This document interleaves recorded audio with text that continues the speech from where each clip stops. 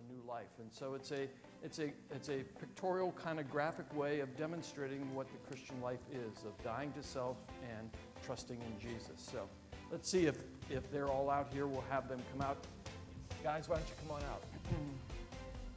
I'm going to ask them two questions, and, um, and they're just going to respond yes.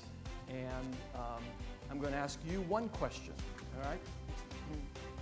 All right? Um, do you acknowledge yourselves to be sinners in the eyes of God, justly deserving his displeasure? If so, say, I do.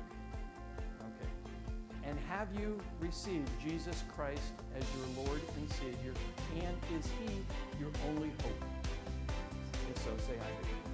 Okay. And to all of you, do you promise in covenant with, the, with them that you will encourage them and uphold them in their walk with Jesus? Say, we do. All right. You guys can head back here. For those of you who perhaps aren't familiar with us, that's really all being a Christian is about. It is about establishing a relationship with Jesus by confessing that you're a sinner and saying, Jesus, I trust you. They've done that in their own lives and they've done it publicly.